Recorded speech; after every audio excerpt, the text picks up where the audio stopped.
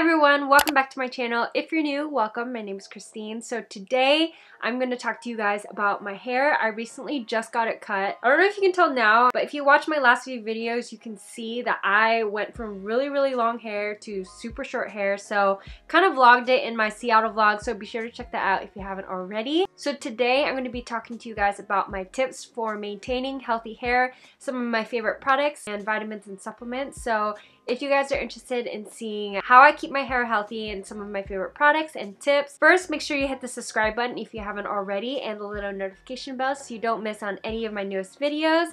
And without further ado, let's go ahead and get started with the video.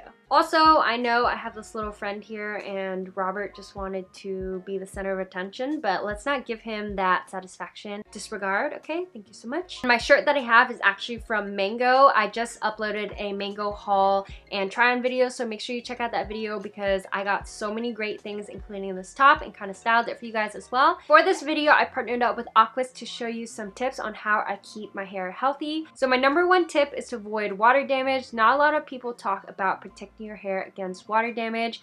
Wet hair is weak hair and when your hair is wet, it is actually 56% weaker than when it is dry. Before I go into the shower, I will go in with this Aquis Water Defense Pre-Wash Spray. I really like the spray because I feel like it does a really good job of protecting my hair against water damage. So before my showers, I will go in with this pre-wash spray and because I have an oily scalp, I'll avoid that area and I'll mainly spray this throughout the ends of my hair and throughout my hair and I'll kind of comb it through with my fingers as well. Let it sit for 5 to 10 minutes before taking my showers. This pre-wash spray is so great because it reduces hair swelling by 46% and it minimizes the effects of water damage. This helps to prevent against breakage, tangles, and frizz. This spray I will use before every single shower. It just is such a quick thing to do and incorporate into your routine. I feel like it does a really great job of protecting my hair. After I get out of the shower, my hair feels stronger and healthier. It also dries a little bit quicker and when it does dry too, I find that my hair is less frizzy as well. As you can see, I'm already halfway through this bottle and I have a backup ready for when I run out of this. This is just an easy step to incorporate into your routine and it helps to protect against water damage. So when your hair is wet, it is more vulnerable to damage. So I expose my hair to water for the shortest amount of time possible. So most people, when they go in the shower, the first thing that they do is to wet their hair.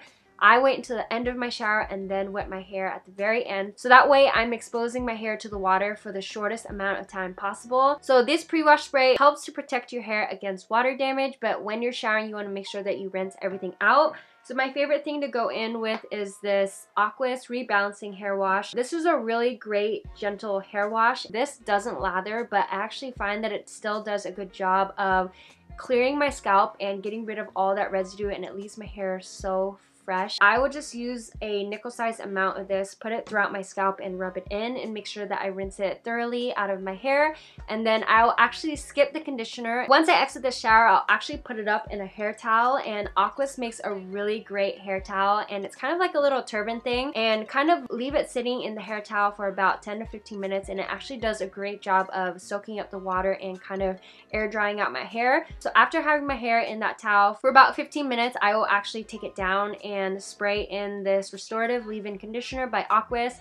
I really love this spray because I find that it just does a great job of conditioning my hair. It leaves my hair super, super soft and it also protects my hair against heat as well. So if I feel like going in with blow drying or styling my hair, this actually protects my hair. So that brings us to tip number two. My second tip is to avoid heat styling as much as possible, but if you are to use heat styling products, make sure that you protect your hair against that heat damage. Like I said before, this leave-in conditioner is really great because it helps protect your hair against the heat damage. But other two products that I really like, this one by It's a 10 is really great. This is their Miracle Leave-In Plus Keratin Spray. How I typically use these little sprays is after I kind of towel dry my hair, I will go in with one of these leave-in conditioner sprays, spray it throughout the middle and ends of my hair and make sure I kind of comb through it.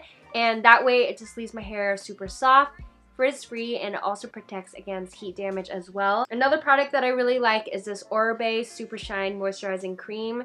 This one is really great, but it is a little bit more pricier, so I actually reserved this for special occasions, but I love the way that all Oribe products smell. It does a good job of leaving my hair so shiny and smooth and also protects my hair against heat damage. You just want to make sure that when you are using heat styling products, whether it's blow drying, straightening, or curling, you just want to make sure that you're protecting your hair. My favorite heat styling products at the moment is this hair dryer from T3. Their blow dryer I really, really love. I love how compact it is. I feel like it does a really great job of drying my hair really fast. If I want to go in with a curling iron, I also really like T3's curling wand, and I won't leave my hair in the wand for too long because I just don't want to fry my hair. So I just leave it enough just to curl it. Tip number three that I have kind of goes back to using as little heat styling as possible. I rely more on like hair products than I do heat products such as like blow dryer and curling wand. Most of the time I'll let my hair air dry. I would say six out of seven days of the week I will just use products and have my hair natural. One of the products that I have been loving lately is this Playa Endless Summer Spray. I have been loving this because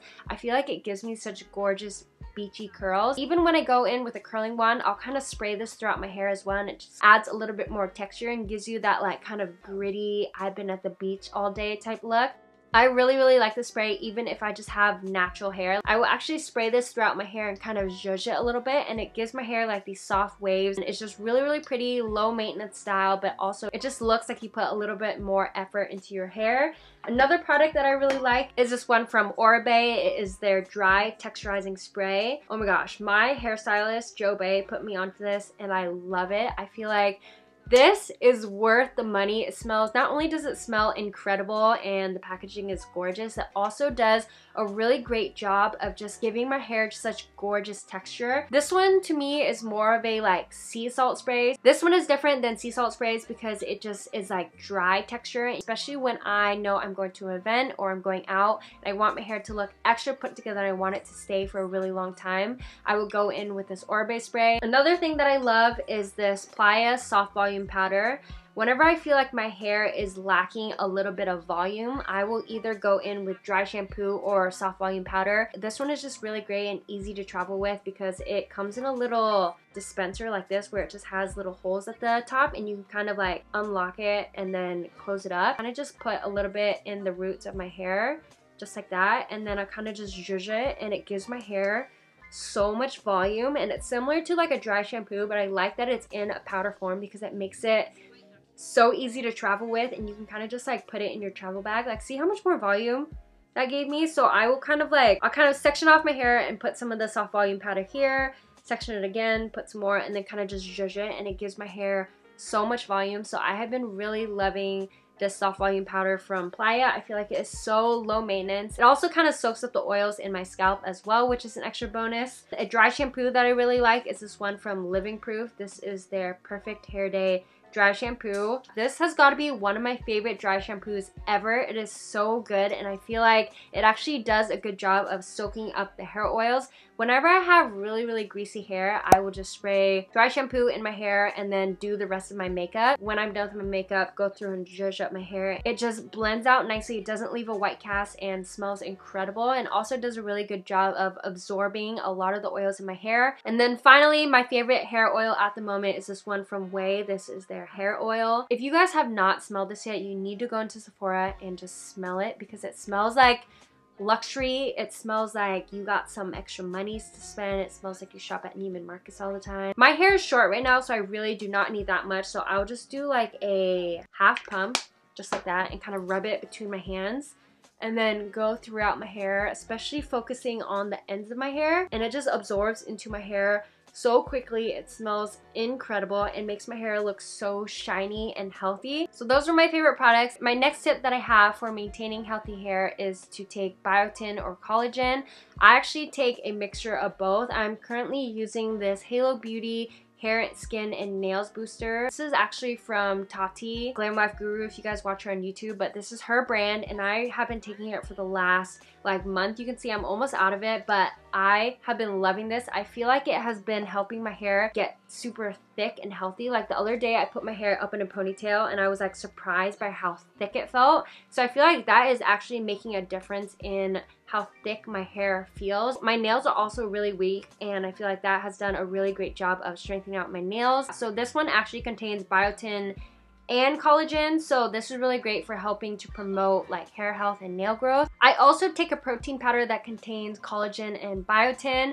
This one by Amazing Grass is really great because it contains 15 grams of protein and it also contains biotin. I don't think this one contains collagen, but it helps to promote collagen synthesis. And this is really great because I will just make my normal protein smoothie after the gym or for like a breakfast or a lunch. I'll just put one scoop of this and it has the added benefits of promoting like healthy hair, skin, and nails. So I've been loving this protein powder. Another one that I've really been liking is this one from Vital Proteins. This one actually contains collagen peptides. This is really great for hair, skin, and nails as well. This one also contains 18 grams of protein, so it is a protein powder. I think these protein powders are so great because you just don't really have to think about it, especially if you already make protein powders. It's really great to buy something that contains your collagen or biotin. It just kills like two birds with one stone. Anyways, that is all the tips that I have for maintaining healthy hair. I also wanted to thank Aquis for partnering up with me for this video. I hope you guys found these tips helpful and I will go ahead and link all the products down in the description box. Before you go, make sure you hit the thumbs up button.